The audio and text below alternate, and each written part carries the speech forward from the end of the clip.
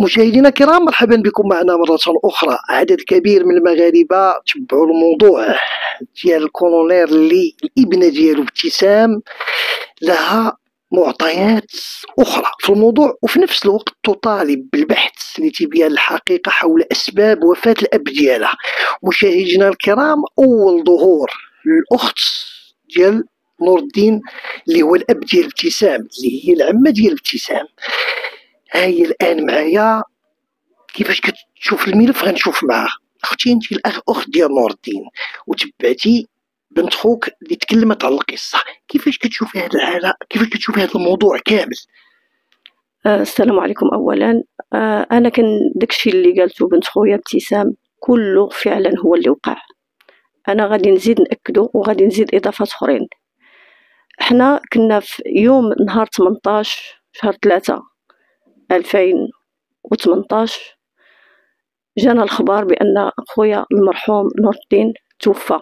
تصدمنا في الأول قالوا بأن أكسيدون خصوصا أنها كانت الشتا والطوموبيل دخلت في نخلة قلنا ربما جلست به الطوموبيل وفعلا داكشي اللي وقع دخلت الطوموبيل في نخلة مشينا. أول حاجة اللي من بعد اللي كنلاحظوها أن حنا والأخ ديالنا جارنا. جارنا ما بعيدش علينا حتى ب 30 متر ما كاملاش.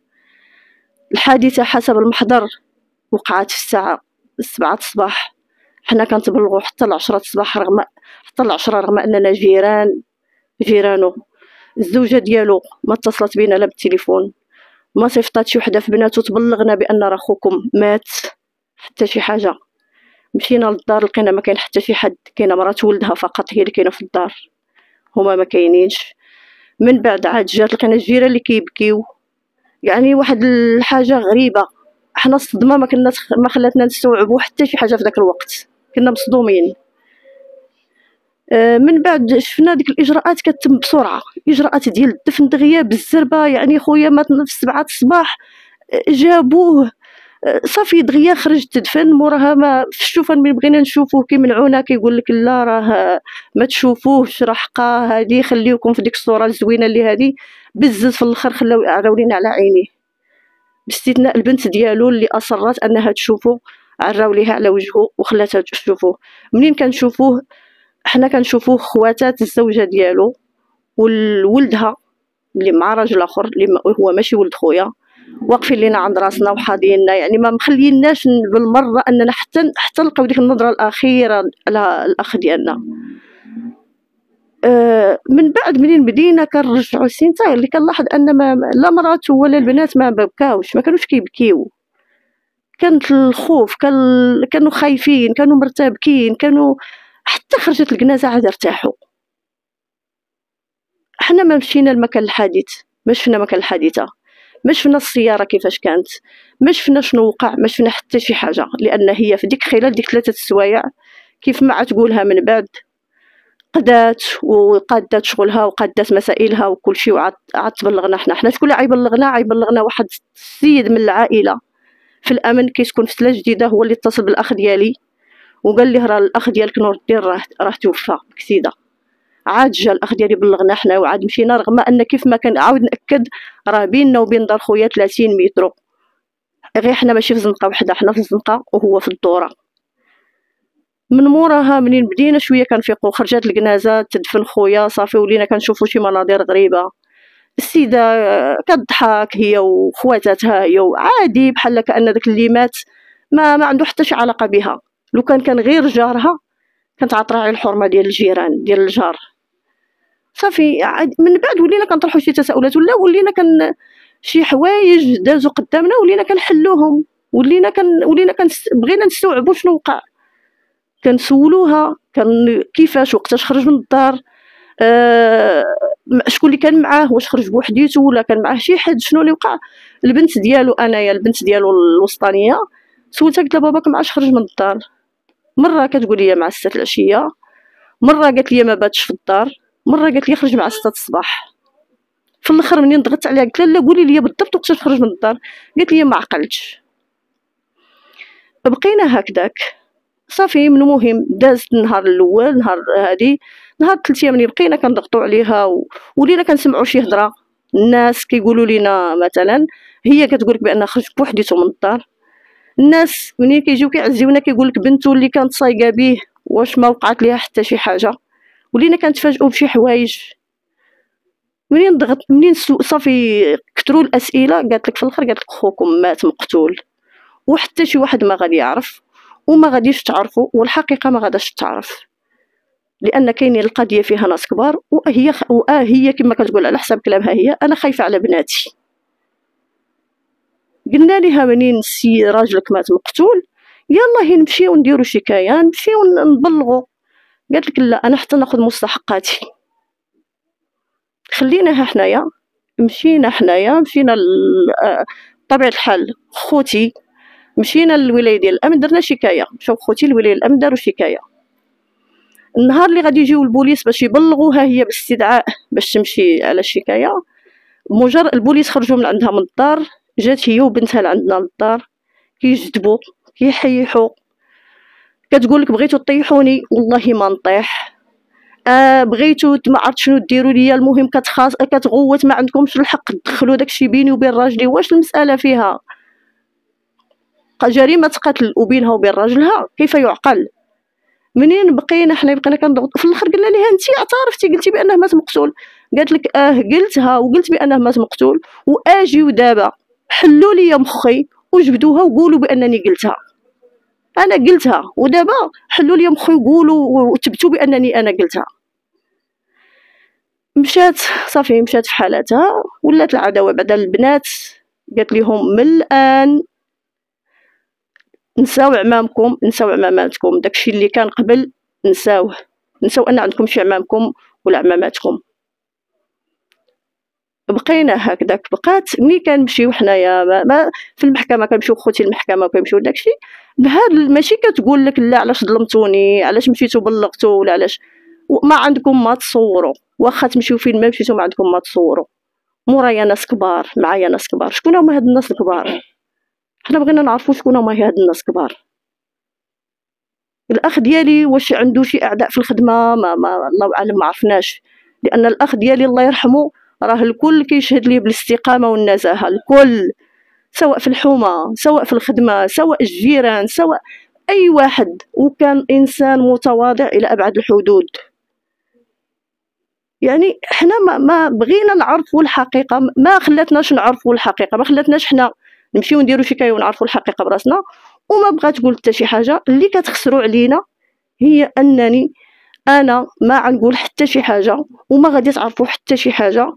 وهذه والسيده كتقول لك مورايا ناس كبار وفعلا لأن ديك الجرأة باش كتكلم وداك الجبروت باش كانت كتصرف كيدل على أن فعلا راها كاين شي حد اللي في ظهرها. نتوما ملي وصلتوا نتوما للقانون فين وصلتوا في هذا الملف هذا؟ حنا مشينا داروا الإخوة ديالي شكاية بالولاية. مشينا دفعنا درنا قد عفوا دعوة في محكمة استئناف برباط من 2018 وحنايا ما كاين حتى شي نتيجة. طلبنا الاستماع للمكالمات ما كاينش. طلبنا التشريح لأن كيف يعقل أن رجل أمن مسؤول أمني يموت يتوفى. وفي المحضر ديال الحادثة احتمال حادثة سير. يعني بما أن كاين احتمال حادثة سير إذا هناك احتمالات أخرى. تقدر تكون جريمة قتل. تقدر تكون هذا الشيء تعرض للتكريسة. كريسه شي حد علاش ما تعطاتش أهمية للاحتمالات الأخرى؟ هادشي اللي بغينا نعرفو. ثم أن في المحضر أن أن هذه الحادثة سير وقعت ولم يتقدم أي شاهد ليدلي بشهادته بأن حادثة. كيف يعقل؟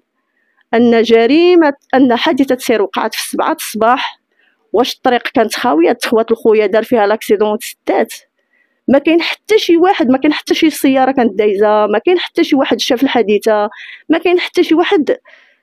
ما يعني شي أمور كانت غامضة بغينا نعرفوها. وبقات غامضة وحنا حنا راه ما سكتناش. راه من 2018 الناس اللي في التعاليق كيقول لك لا فين عائلة باها فينهم حنا راه ما ساكتينش. وربي اللي عالم داكشي اللي شفنا في هاد الست سنين. وما غنسكتوش حتى يبان الحق بإذن الله. بعض الكلام اللي سمعتي ديال ابتسام تتقول لك بأنه الأم كتقول لها خذي 30 مليون وسكتي. هذا هذه المسألة الأولى والمسألة الثانية بحكم انت عمت على البنات كاملين. علاش هاد ابتسام ما تضمنوش مع خواتاتها مثلا؟ أنا غادي نقول لك يعني ابتسام كانت هي المفشه عند باها كانت هي البنت الكبيرة عند باها كانت هي المفشه عند باها كانت هي المقربة أكثر لباها بهذا المعنى. خويا كان عنده نزاعات مع مراته ما عمره ما ارتاح معاها وهذا راه بشهادة الجيران يمكن لكم تستفسروا وتعرفوا لأن كانت النزاعات كانت كيدخلوا فيها حتى الجيران أحيانا. وكانت نقطة ضعفه هي بناته كانوا بناته عزازين عليه بزاف. كان صابر على وديتهم كان دائما كانت ملي كيبغي كيفكر يطلق مراته كتلوي له دراعو بالبنات. كتقول له غادي نديهم وما تبقاش تشوفهم. ملي كانوا صغار؟ هذا ملي كانوا صغار؟ منين كبروا؟ صافي خويا فاض به كما كيقولوا ما بقاش قادر يستحمل ما بقاش قادر يصبر. أنا قالها لي أنا الأخ ديالي جا عندي. قال لي شوفي أختي كان كيوجد العرس ديال بنته البنت الوسطانية اللي مشات لفرنسا. كان كيوجد لها العرس لأن خويا توفى نهار الحد والبنت كان عندها العرس نهار الخميس الأربعاء والخميس. كان كيقول لي شوفي أختي أنا راه من المطار مي غادي نوصلها للمطار. هي من طريق وأنا من طريق. كاين واحد السر شبه السر ما عمرو تقال.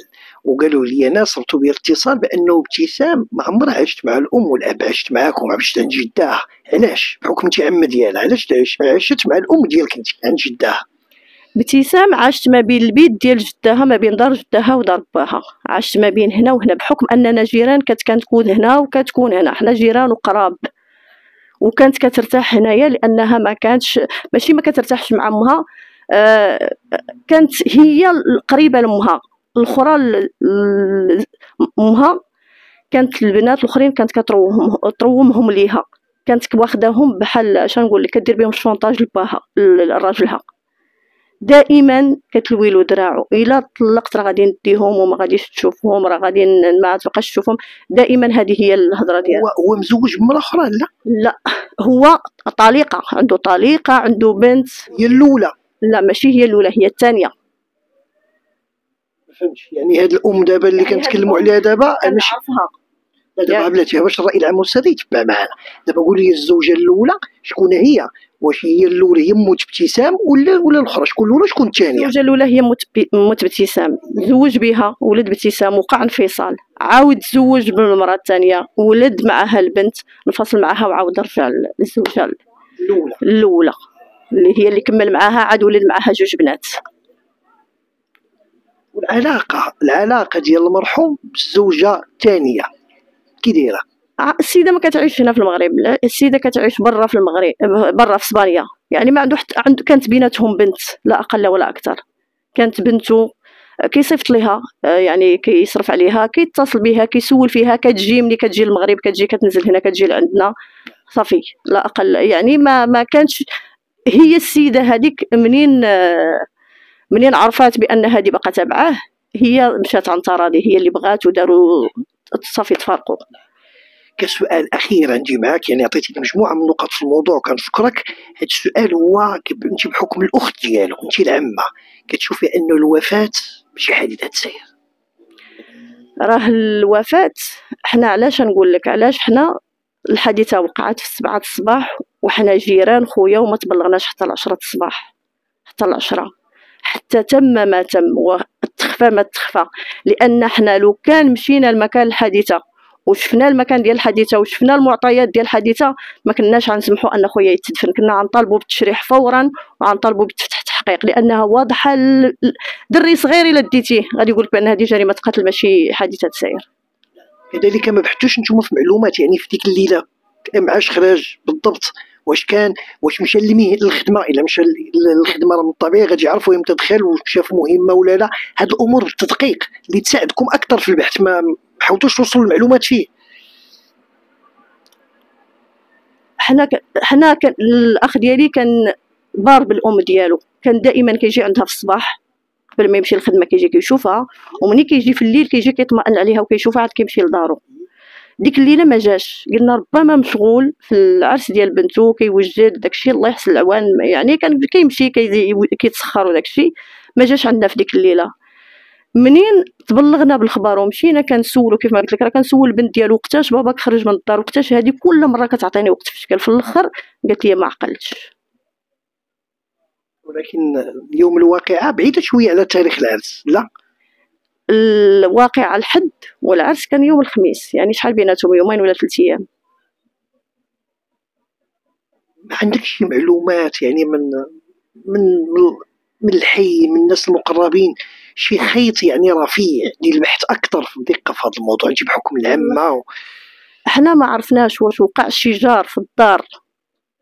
المهم ان المهم في هذه القضية كاملة أنها ليست بحادثة سير جريمة قتل وحنا ما كنتهموش الزوجة مباشرة ولكن الزوجة كتعرف كل شيء عارفة حتى إلا ما كانتش هي الفاعلة عارفة شكون اللي قتل. وحتى إلا ما كانتش هي الفاعلة راه عندها مشاركة أو لا متسترة. أختي الله يوفقك يا ربي. باش تبان الحقيقة أكثر في الموضوع مشاهدينا الكرام كما تبعتوا معنا عندك شي إضافة؟ دي واحد الكلمة أخيرة. لا ابتسام ولا أنا ولا كنا ولا العائلة ديال المرحوم الله يرحمه اللي كان مسؤول أمني. راه حنا ما كنشكوش في النزاهة ديال رجال الأمن. ما كنشكوش في النزاهة ديال جهاز الأمن.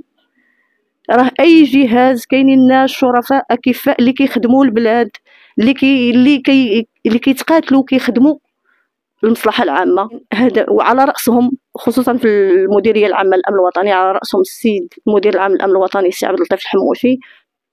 الله يوفقك يا ربي بيا الحقيقة مشاهدينا الكرام كما تبعتوا معنا أول ظهور الأخت نور الدين مسؤول أمني اللي مشى عند رب العالمين في 2018 مبدئيا الواقع فيها حادثة سير ولكن العائلة لهم رأي آخر. تبعنا الحوار مع ابتسام لي الإبنة ديالو كانت تزبد وترغد كما تشاء تريد حقيقة وفاة الأب ديالها.